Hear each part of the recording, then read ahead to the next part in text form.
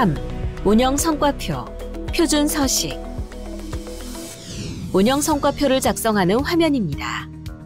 전년 공시자료 조회 버튼을 누르면 직전 사업연도의 운영 성과표 자료를 가져옵니다. 현재 입력되어 있는 단기 전기 자료가 전년 공시자료 조회 버튼을 누르면 초기화되므로 입력하기 전에 전년 공시자료 조회 버튼을 누르기 바랍니다. 운영 성과표는 공익법인 회계 기준에 따라 작성하며 공익 목적 사업과 기타 사업에 입력하면 단기분의 통합란에 자동으로 합계가 표시됩니다.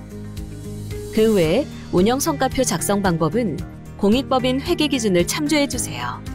공익법인 회계 기준은 국가법령정보센터에서 검색하여 확인할 수 있습니다. 모두 입력하였으면 저장 후 다음 이동 버튼을 클릭해 주세요.